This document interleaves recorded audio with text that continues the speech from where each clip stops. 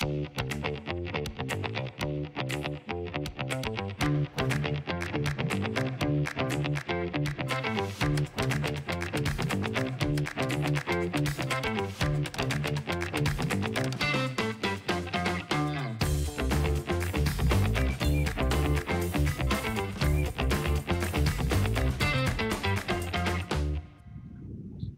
everyone, and welcome to our latest iteration of The Pitch. This is one of my favorite shows to host because we have a stock picking showdown with three experts providing their top picks, charts that are top of mind for them. I'm Dave Keller, the Chief Market Strategist here at StockCharts.com, and we have three fantastic uh, experts for you today. Here's how things are going to work I'm going to introduce all three of them.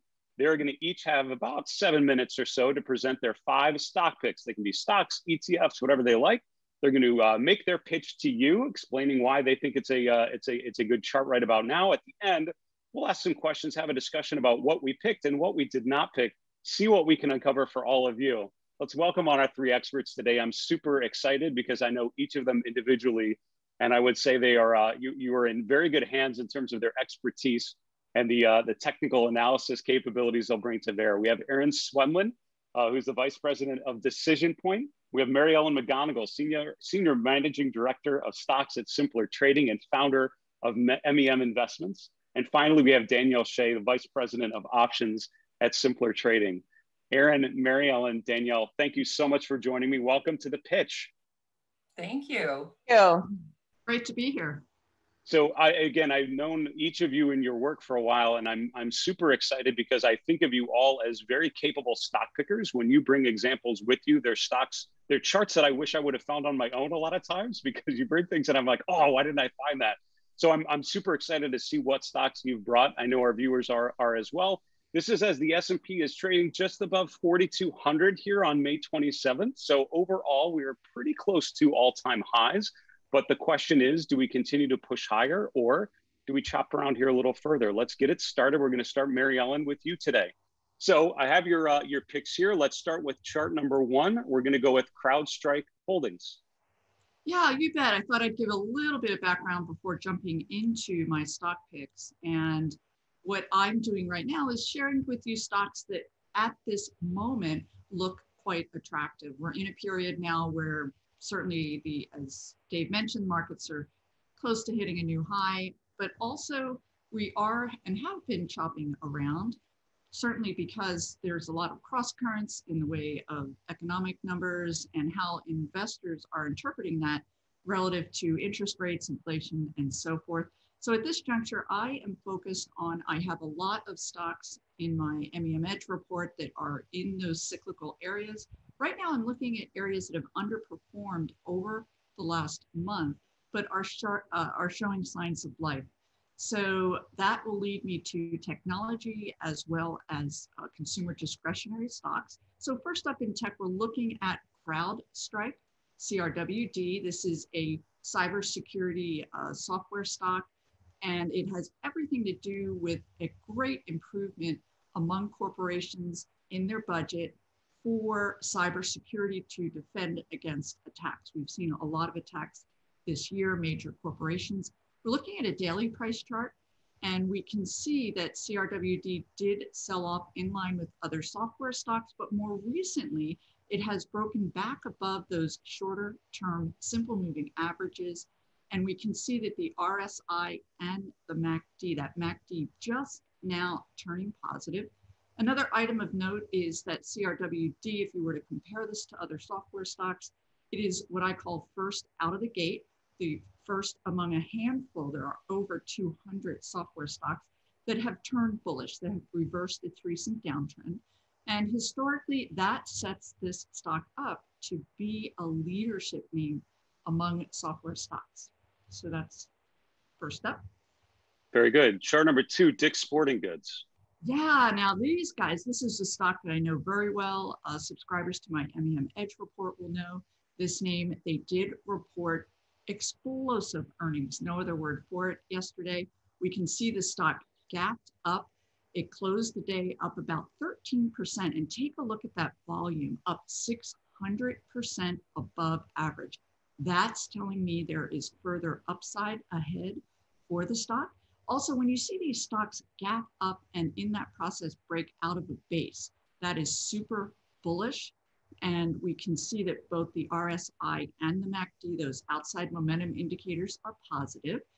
I also have an intraday chart, uh, if we can get to that, but it is going to be very helpful as far as guiding you in, uh, for super near term possibilities. Uh, I would use an intraday chart. And then also as precedent, we can look at another retailer, PLCE, Children's Place, another one that gapped up out of a base on strong earnings. And you can see how the stock got pushed into this very nice uptrend out of that gap up base breakout. Very, very good. Chart number three, we're looking at LGI Homes, so transitioning to home yes. This is going to be another consumer discretionary stock. We've seen housing, it's been a bit bumpy along the way. Certainly lumber prices, other considerations are coming into play. But LGIH is really set up to be uh, a winner. I do think housing stocks, they do well in periods of recovery where historically low interest rates. Uh, we're seeing lumber prices drop uh, this week. But more importantly, when looking at stocks, you're going to want to know trends as far as housing and what's taking place across the country. And a lot of it has to do with millennials, age 25 to 40. These are the power, uh, the buyers actually, a lot of them coming in, purchasing their first home. And this is precisely what LGIH focuses on, those that are going from renting into the first home also a lot of trends as it relates to where people are moving into the Southwest. That's where LGIH uh, specializes. The company did recently report explosive earnings, pulled back in line with the group, but again, we're seeing that nice downtrend reversal, breaking back above those shorter term simple moving averages. I would really be interested if we get a nice base breakout above that 187 area.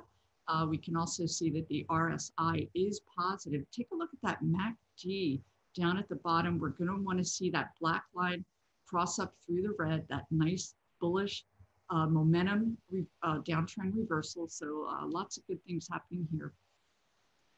Decent chart for sure. Chart number four, Overstock. Yeah, now Overstock, many of you know them as a retail, uh, online retailer, certainly in furnishings and so forth, a big winner out of the pandemic. The company just reported super strong numbers, uh, triple digit year over year earnings growth. But OSTK has another piece to their puzzle, if you will. Uh, ticker symbol OSTKO. The company got uh, FINRA approval at the end of last year. They are a cryptocurrency uh, broker, and they also can do investment banking and help these crypto firms raise capital. So you're kind of getting a double bang out of this stock. And we can see today the stock is breaking out of a nice one month base. And we do have those nice outside momentum indicators trending positively. You know, it's interesting. I was my initial reaction. We're going to get through all of the stock picks here in a minute, but my initial reaction was none of us picked anything crypto related. But I think you've you've now qualified that. I think we I think we've done it. We got there with uh with Overstock. Finally, RH Restoration Hardware. What's this one look like? Okay, yeah, Restoration Hardware, they are due to report earnings in two weeks. That's important to note. But also of note is the fact that Wall Street analysts are raising guidance going into earnings. And historically, this is a very bullish uh, occurrence. These analysts aren't going to put their neck on the line unless they have real confidence and maybe a little more knowledge than we might have. So the stock is poised to turn bullish. We're not quite there yet. A break above that pink 21 day simple moving average would have me even more constructive. Of note, uh, Berkshire Hathaway is an owner, and he did recently increase his stake in RH, one of only four stocks that he did so. The company is expanding globally. They're going over to Paris, to the UK, and they are really have had exceptional triple digit earnings and they guided higher as far as their revenue outlook. So the stock found nice support at that 50 day simple moving average. And then a little more work needs to be done with that MACD and that RSI uh, poised to turn positive.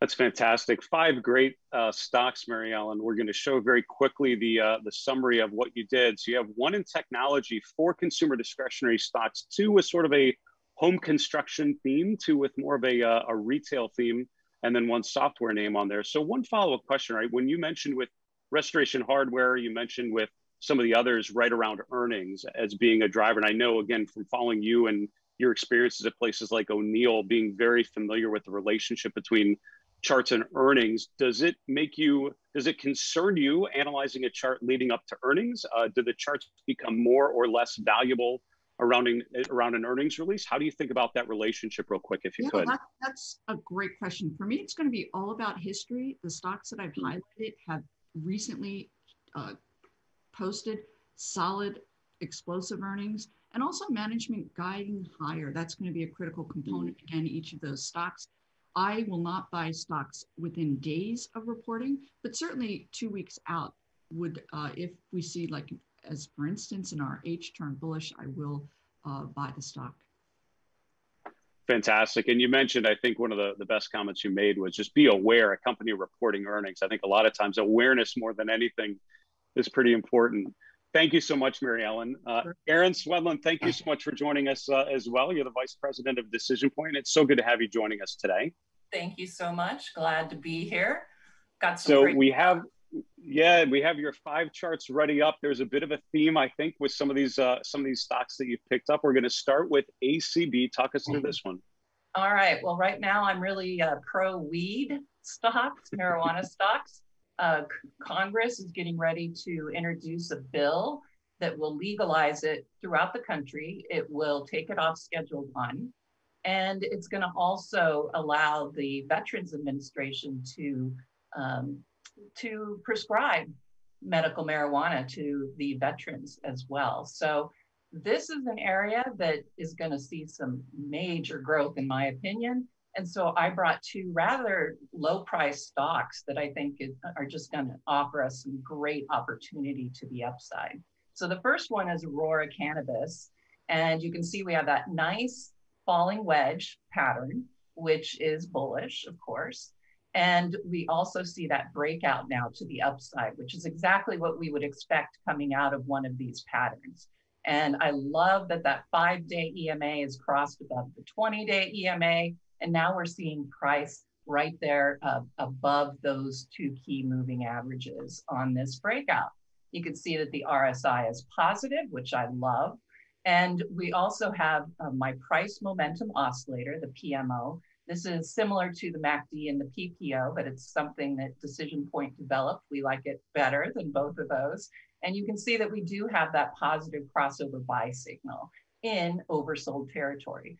So this one is really poised to do well. The only caveat I would say is that when the 50 day EMA is that far below the 200 day EMA, we have to be a little careful because clearly this one's been beat down we want to make sure that it continues higher. But you know, if we can get just up to that November top, that's a 70% gain on this stock. And I always put a stop level.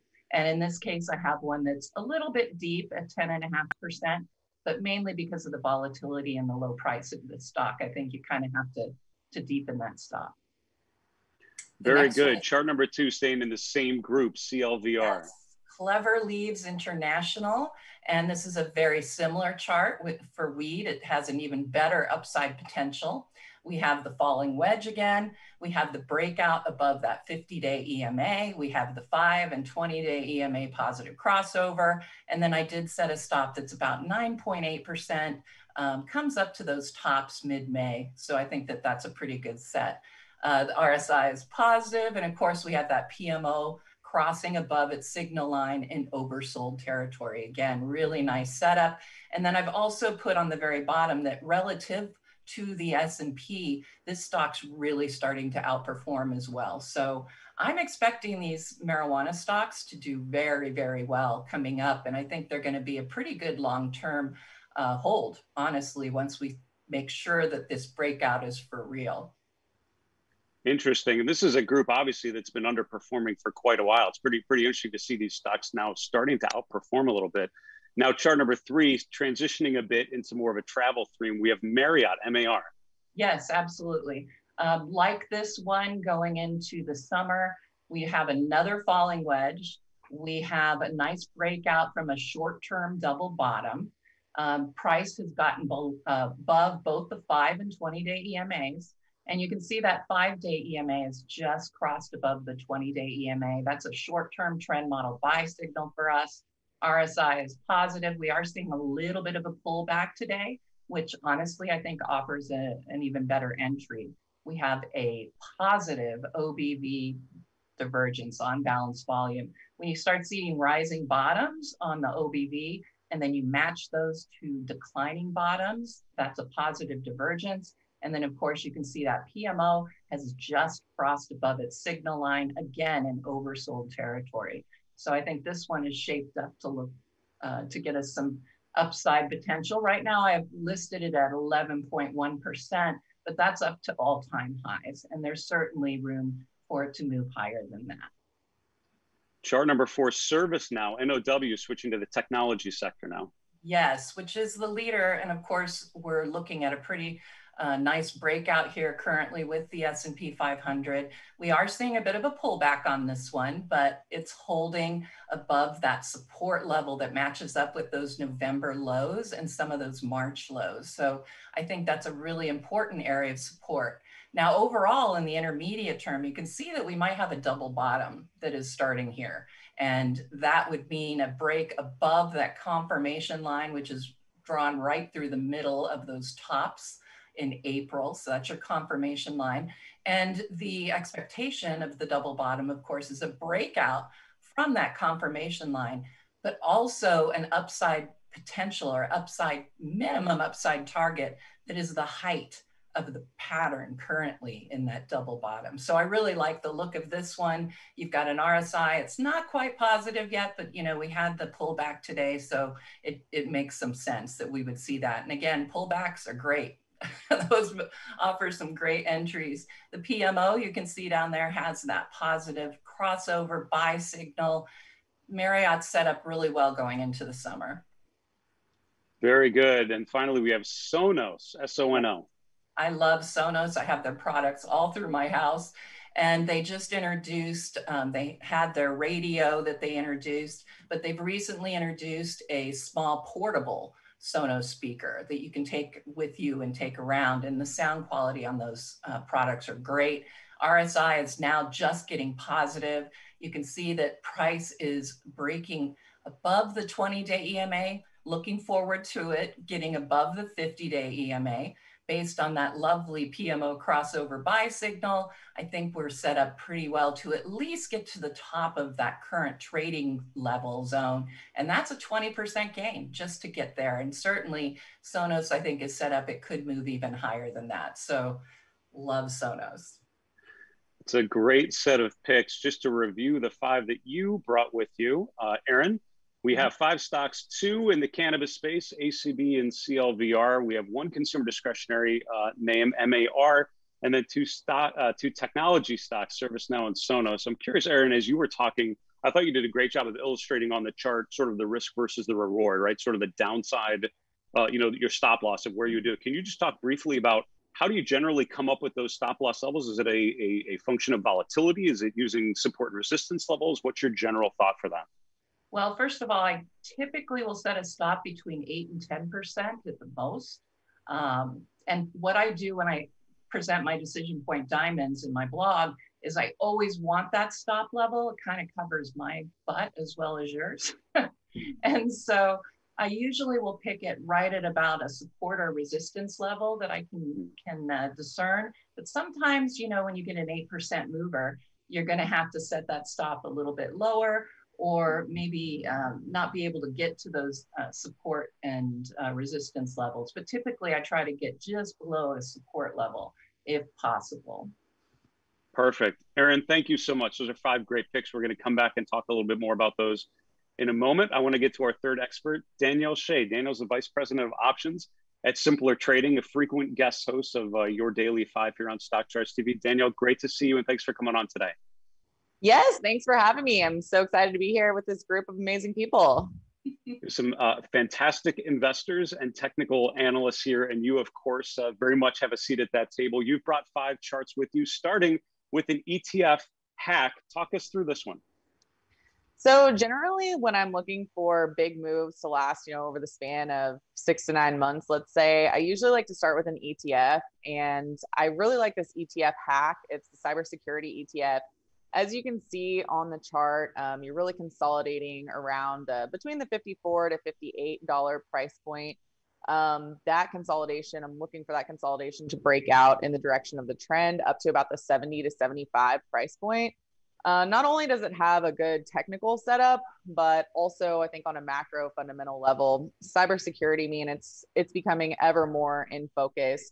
You also have the Biden administration that is going to be, I'm not exactly sure what they're doing yet, but they are going to be working on some cybersecurity initiatives just due to um, the hack that happened with the pipe, the pipeline.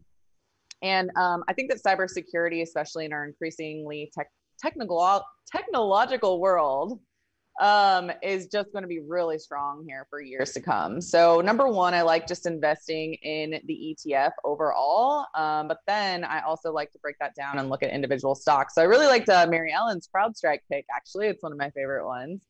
Um, but the next chart that I have is going to be Cloudflare. So, this is a company that our company actually uses. Um, so, I'm a little bit familiar with them, but also I love this chart because of the overall technical pattern. So if you can see, you know, on the weekly chart, you have a really nice pattern of higher highs, higher lows. Uh, last summer, it especially took off. And right now, what we've seen, you know, over the course of the past couple months, there's been inflationary fears. You've seen the NASDAQ uh, pull back and consolidate. You've seen tech overall pull back and consolidate and so have all of these cybersecurity stocks. So you're seeing that consolidation here in Cloudflare as well. So, you know, it's consolidating around the 62 to 65 price point. And what I'm looking for with this one is I'm looking for an ultimate breakout to about 105. Maybe we can get 115. That would be amazing. This is obviously a more volatile stock, a high momentum type name. So when you're trading these kind of names, you really have to learn to sit through the punches like we've seen the past couple months. But I think we have a really great entry right here. Um, our number three, staying in technology, we have Microsoft. Yeah, so Microsoft is just one of my absolute favorite long-term buys. Um, the stock is really consistent. They show consistent quarter over quarter, year over year growth. They have a variety of different product segments that are all growing, which is amazing. They're they ever since they shifted their model from you know remember when they used to sell those actual CDs, Windows stuff like that, but ever ever since they um, shifted to a cloud-based model, um, they've just really seen explosive growth. And what I really like about Microsoft is that, you know, Apple gets all the attention, Tesla gets all the attention, but there's Microsoft in the background, just slow and steady. Microsoft never really seems to get hit by bad news.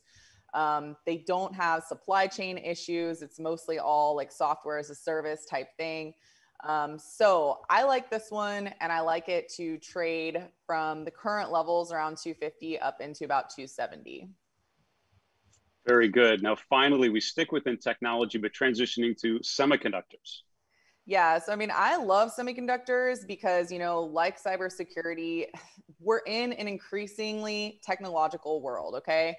And the more and more technology there there is, the more semiconductors that we need. Like we know right now, there's current semiconductor shortage that's impacting a wide variety of businesses, and this has kept a damper on the semiconductor industry as a whole.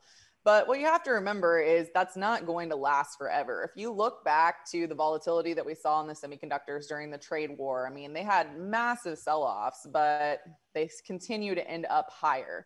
So I'm looking for the semiconductor shortage to actually give us a buying opportunity here um, and then add more shares of, you know, I like SMH. I also like SOXL, the 3X ETF. Um, and then the next one that I really like is Taiwan Semiconductors. So this one, really strong weekly chart pattern. Um, you can see you have a really nice pullback right here, a little bit of a cup and handle pattern there. You have that consolidation as well. And I'm looking for that one to break out to about 150. So when I'm buying stocks like this, you know, generally I will also invest in the ETF. So, I mean, I have a position in SMH that I continually add to when I get these nice pullbacks. Um, I do like to also trade the leverage uh, ETF a little bit more aggressively. but I also like to add stocks like this. So I've been adding this, you know, over the course of the past couple months. Um, and we may not see the semiconductor shortage resolve itself in, you know, the next one or two or three months even. Um, but if you look back a year, two years from now, I think that all of these semiconductor stocks are ultimately going to be higher. These are five great charts, and I think glancing quickly through the list, um, Danielle, you maybe have been the only one to bring a Seattle-based company, so thank you for that uh, that gift to uh, to us here at Stock Charts. Um, you mentioned uh, the the original boxes of the software. As you as you probably know, Chip Anderson, our founder, was one of the original Windows programs. So in our office, we have some of those prominently located in a uh, display case, some of the early versions of it. You mentioned a couple times, uh, you know, especially with the semiconductors. You mentioned the SOXL, right? The the the levered ETF. Mm-hmm. Can you just speak briefly between, you know, if you have something like semiconductors, what would inform your opinion on whether to just hold the SMH or the SOXX or something that's very, you know, just a plain vanilla exposure versus the levered? Is it a measurement of risk? Is it just a a, a, measurement of a time frame where you use the leverage on short term versus long term? How do you think about when to pull which lever? So I think it's really a I think it's really a measure of kind of intestinal fortitude because the well, well, first of all, I mean I primarily trade options. So to me, you know, uh, the leverage that I have in options is not it, it's going to be more than what you're looking at with the leverage ETF. So I kind of look at it on kind of a step up basis. You know, if you're if you're wanting to get exposure to the semiconductors and you know you don't think you can really manage a lot of volatility because the semis and the and the cloud stocks and the cybersecurity stocks these are volatile spaces. So if you know that it's going to drive you nuts to get in a position and see it go up and down with all these news related events then it's much better to focus on smh because that is going to be you know the, the easiest path higher because it's an average right um, if you, in fact, say, well, you know, I like the nicer, easier path of just trading the basic ETF, but I want to get a little bit more exposure here. I don't mind if this position is up or down 10% in a day or maybe for several days in a row because that happens. Um, you know, try out some shares of SOXL. And then if you really want to focus on one semiconductor company, that's when you can break it down to a specific company. But you know, we know with the semiconductors that there's been a lot of issues. There's been supply mm. chain issues. Um, with the pandemic overall, we've had trade war issues with China. And so when you're exposed to just one specific company, you know, it is a lot more involved. So generally I tell people, you know, based on how comfortable you are with risk, that's how I determine it. As far as time frame, usually with the leverage ETF, you can go a little bit shorter on the time frame to trade it a little bit more versus just holding it. But I think all three are great buy and hold options. Perfect. So let's look very quickly at what you all uh, what you all provided, what you all brought with you, and doing a quick glance as you were talking, I came up with out of 15 stocks or ETFs that you suggested, we had eight in technology, we had five in consumer discretionary, and two in healthcare. But that's kind of healthcare with an asterisk, Erin, because they're they're cannabis stocks. So I don't know if I group them with pharma, but they certainly come in the healthcare sector. So you know, it strikes me that as a group, we're pretty bullishly positioned. I mean, we're positioned for the market going higher. We're positioned for a structural uptrend that's going to elevate these growth stocks. We're positioned for interest rates most likely staying muted, which would be a tailwind for the growth trade. So, my question to all of you, just to start with, is does that reflect an overall bearish sentiment that you see that you are bullish on the market and therefore these are the stocks that look attractive? Or is it more of a bottom up exercise and it just is interesting that growthy sectors and stocks are the ones that come up naturally in your process? Who wants to start with the response to that? I can certainly start and say that with my work, definitely growth oriented. I was brought up in that environment. That's where I'm going to be drawn toward. However, more recently, it's only been recently that I've re embraced these growthier names, particularly within technology. I had a lot of big triple digit winners in those semis in software last year, but you have to honor the chart and they peaked in February, sold off, but they are currently coming back into favor, which is very good. It doesn't mean that I ignored the move into cyclicals. I have a number of uh, industrial, financial, and energy names on my suggested holdings list for my MEM Edge report, but this is talking about current action and what looks interesting now. It's interesting because Erin, you had a similar idea. A lot of the stocks you were suggesting were ones that were sort of in those wedge patterns, sort of actionable pullbacks within an uptrend, right? Mm-hmm. Absolutely. I love chart patterns. Anybody knows me, uh, I know Mary Ellen on our Chartwise Women, we do lots of chart patterns on my charts. Uh, you know, for me, I you we do at Decision Point, we start at really top level in terms of understanding what's going on with the S&P because knowing that is half the battle. You know, you want to be in the trend, whatever the trend is. If the hmm. market is overbought, you need to be a little bit more uh, careful about what you choose. So in general, I like to look at what's going on in the market. And right now, our indicators say that short term is still looking really good. I'm expecting new all-time highs. After that, I'm a little bit mm, intermediate term. My indicators are still a little soft. So I'm not so sure we're gonna, it'll last once we get up there. Um, so I, I, look at the overall trend of the market, and then the next thing I do is I run all my scans to find my diamond in the my diamonds in the rough for my blog.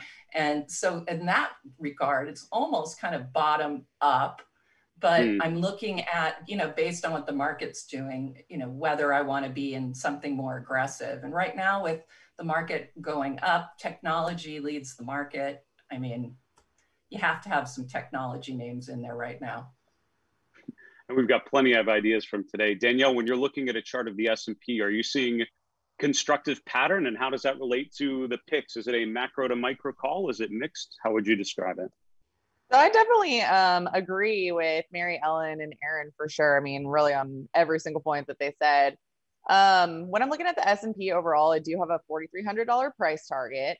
Um, mm-hmm. You know, I think that seasonally in the fall, we do typically see a little bit of a pullback, a little bit of a correction. I think it's a little bit too early to kind of put that out there for sure right now. Um, but I do anticipate the market being strong June through July. I mean, seasonally, we have a run into earnings going on. You know, we have major earnings really at the end of July. Um, and that typically gives the market a pretty nice boost. And then after the core, you know, tech companies report earnings and stuff like that, that's when I typically start to see some market weakness in August. So I'm looking for that, you know, in the near term. But when you're talking about, you know, focusing on technology and all these high growth stocks, I mean, I just see no reason not to. Whenever I'm looking to trade something, I always want the most bang for my buck. Um, hmm. I'll, I'm the first to admit I'm not really great about, you know, picking up materials stocks and energy stocks. And I really do like to focus on the areas of the market that um, are showing that high growth. And I mean, to me, that all comes back to earnings. So I like to look at, mm. you know, what these companies are doing quarter over quarter, year over year. And as long as they're still, you know, especially this year, this year was absolutely insane, right? And still these companies like last quarter was what the strongest earnings quarter that we've had since what year i can't i can't remember the exact stat but it was incredibly strong growth yeah. um, and so i just don't really see any reason to focus anywhere else other than these kind of high growth names it's very very interesting and i'm as i'm thinking of what you guys picked you know you know what did we pick we picked a lot of technology a lot of consumer discretionary so what did we not pick and a couple of you mentioned some of the cyclical sectors, things like materials, no gold stocks in there, which I, I you'd have to be fairly defensive to be throwing Newmont Mining or Kinross. So I get that. I'm okay with that. Um, industrials, but financials, none of you mentioned uh, either. And I'm curious, you know, some of the charts within um, uh, financials have had essentially had incredible runs and are and are continuing to make new highs. We're looking at Royal Bank of Canada (RY) on the uh, on the screen right now. So my question to all of you, you know, we've had this situation where we've had a rising rate environment, which has been a huge tailwind to banks, global banks, regional banks, sort of everything's been up. Are you, when you look at a chart like RY, is it something that you would think it is more of an interest rate play? And if interest rates come down, that's a risk to, to be owning something? Or is it more of a, these have had already quite, quite a, a run and based on your work, we've sort of already seen the move and now it's a rotation back to growth? Or would you be comfortable still holding something like an RY or, and again, I mean, most financials I could bring up kind of look like this.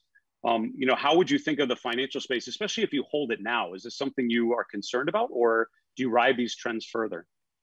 Yeah, I, I actually picked up a lot of those bank stocks. If you look at FITB, for instance, I put Mm. it on the, my suggested holdings list back in November and three other uh, leading stocks since then. They're still on my list. They still look great. Yeah. If you own them, hold on to them.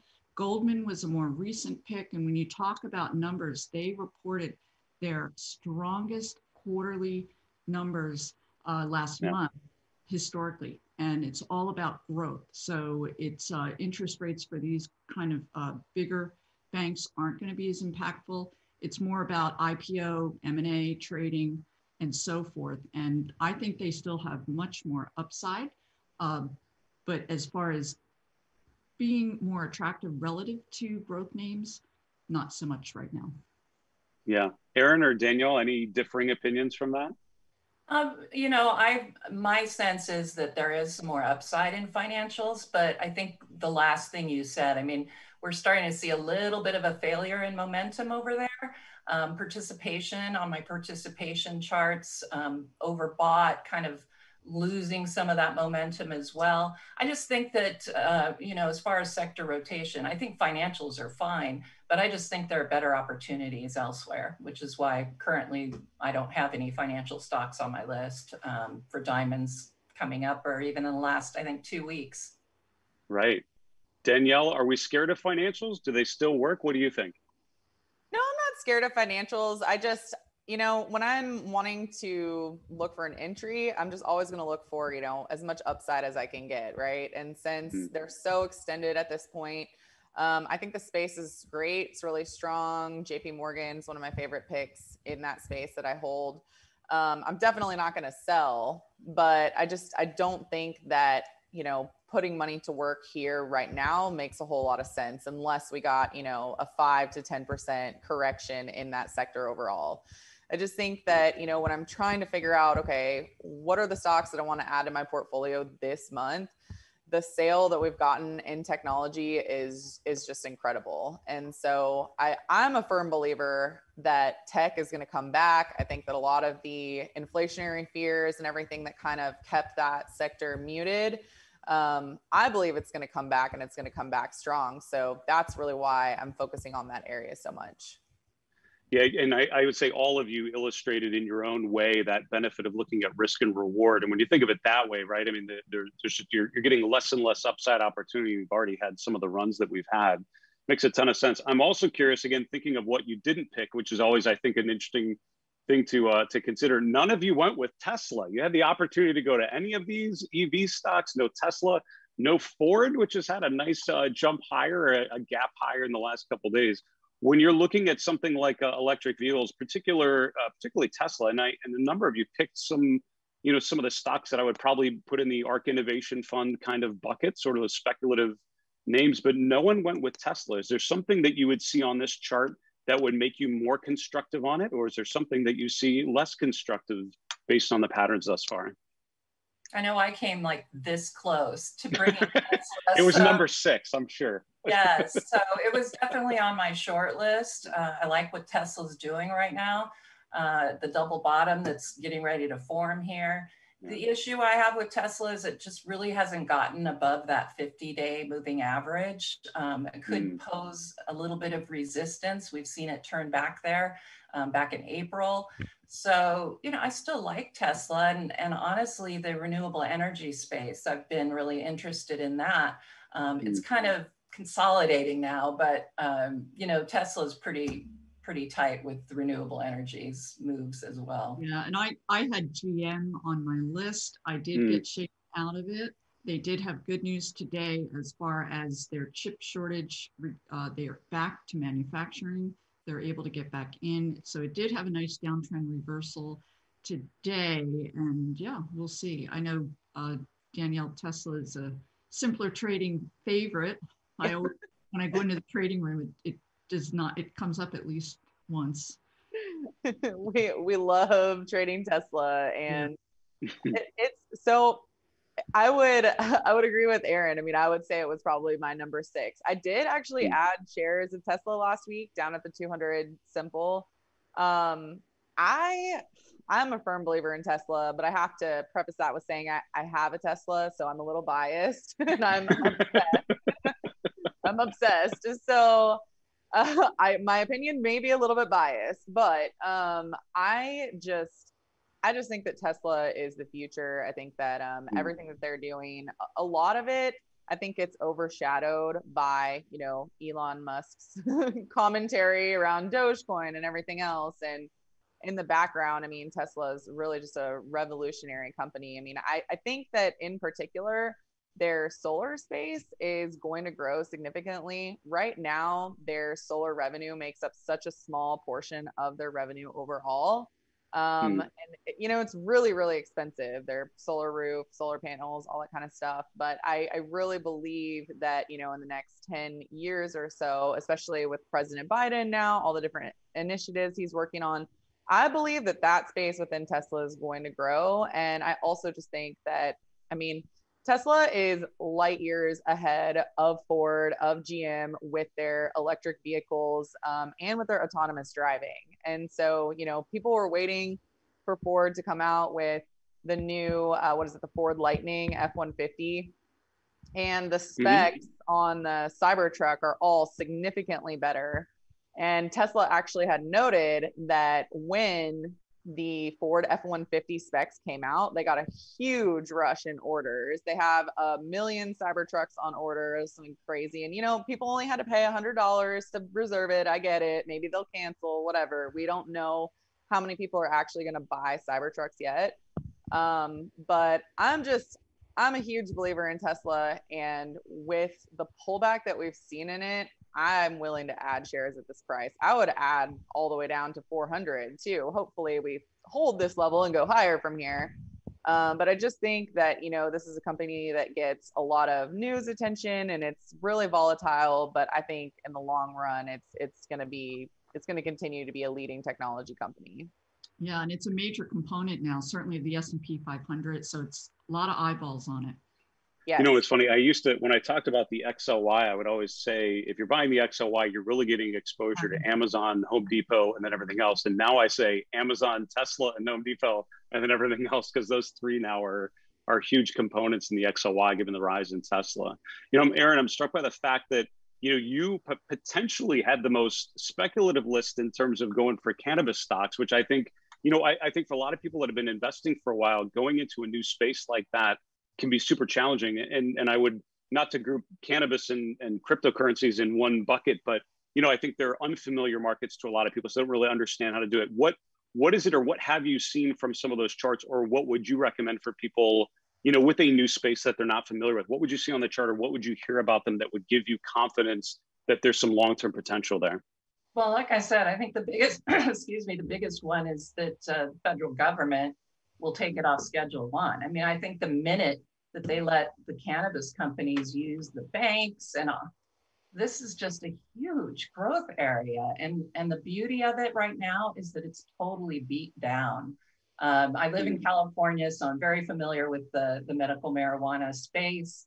And, you know, it, it's a moneymaker here, even without being part of the bank structure. And, you know, once they're given that freedom, uh, of course, the price of it might go up, uh, the actual um, marijuana plant.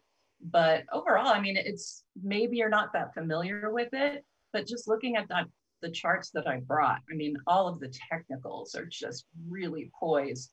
And you give it some, some uh, you know, some news, and it's just gonna it'll be one of those spaces it's gonna take off i i mean obviously I, when you invest in anything you know set those stops but uh, I, I really am behind the cannabis stocks right now. No, Mary Ellen and Danielle, I, I can't help but notice no real crypto. Now, again, save your, your overstock uh, component, but um, you know, when you're looking at cryptocurrencies, I know that's where we get a lot of questions, a lot of interest from our users is, is breaking down cryptos and all of that. How do how does a growing market like that that we've been, you know, it, it's sort of new for for everybody when does that hit your radar? How do you think of it relative to other levers you can pull, equities and ETFs in your in your arsenal? How would you think of it? Uh, I actually, my very conservative play as far as uh, cryptocurrency is uh, is PayPal. PYPL. Mm. Uh, quite simply, among other attributes, this, the subscribers can trade Bitcoin. They can use Bitcoin for purchases. So they've seen a spike in subscribership and usage. So that is going to be something, a way that I would play that, if you will. Uh, again, something a little more conservative. Very good. Danielle, cryptocurrencies, uh, how does that fit into your thought process? Is it something that most investors should be avoiding because of the volatility or embracing because of the uh, the the uh, the unavoidable future we're all aiming toward apparently so i think it's such a double-edged sword because you know the more i read stories about i just read another story today about you know uh, it was a flight attendant that put you know all of his money into bitcoin. And it's so I always hate, I hate being on record, you know, saying, yes, buy Bitcoin, because I just, the last thing I want is, you know, some, a teacher to put their only $10,000 into Bitcoin and have it, you know, go down 20% the next day because of a tweet. So it's, it's one of those things that I hate saying that, but I do believe that it's the future. And I do believe that we need to be investing in Bitcoin, but it needs to be in a way that you know you have to understand that this is probably the most volatile space you know beyond like the weed stocks which i completely agree with erin i think they're a fantastic investment right now um Thank i just think that yeah they're yeah they're great i have mj the etf and um mm. yeah it's been doing awesome i think you're right on about um, what you're looking at there but um i think that people just have to understand that this is something that you know you put money in it and you just you wait five years. You know, it's not something that you're going to be getting in and getting out of. Um, you know, for example, my husband, I mean, he set up an automatic buy. You can set up an automatic buy on Coinbase every single week and not even worry about what the price of Bitcoin is. Uh, you know, small amount, not not anything too crazy. You're not going to be homeless if it, you know, goes to ten thousand dollars. Um, but I do think it's important important to be invested in it because Bitcoin's not going anywhere, and um, we definitely want to get some more, especially on this dip. It's interesting, and as we talked about each of those electric vehicles, cannabis, uh, cryptocurrencies, things we're all you know learning by. It's amazing how much I've learned about some of these spaces that I never imagined I would. Um, but I think in all of your answers, what the, there's some truth in there of when the charts you know tell you that there's an opportunity to focus on it right when the chart looks attractive that's when you think of something like cannabis because the charts compel you to uh, to do so folks that was it. That was a quick hour. That went by really really fast. And i had so much fun hearing from each of you. You guys are again i i, I think everyone uh, was very rightly impressed by the rigor that you bring to uh, selecting charts and talking through them. You represented i think your expertise and your command of the technical toolkit beautifully, and uh, and I appreciate all of it. Um, Erin Swenlin, Mary Ellen McGonagle, Danielle Shay, thank you so so much each of you for joining us today. Really appreciate it. Yes, it was awesome. I, I, had a great time. great being so, here. folks. That is it for the pitch. This is a, a, three fantastic guests bringing their five stock picks. As always, a stock picking showdown, all giving some different representations. You've got sort of the pro growth trade and the charts to back them up. What do you think should be in the uh, in the top five of your own list? Put us comments. If you're watching this on YouTube, put a comment right below the video and let us know.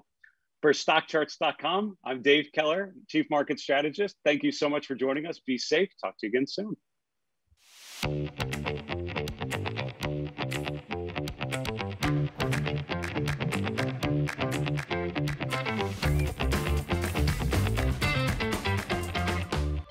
Hey, Grayson Rose here with Stock Charts. Thank you so much for watching. I hope you enjoyed that video. If you did, consider giving it a like down below, maybe leave us a comment, and if you're new to the channel, you can subscribe at the link up above. We're gonna bring you daily content from an incredible collection of technical analysts and financial experts.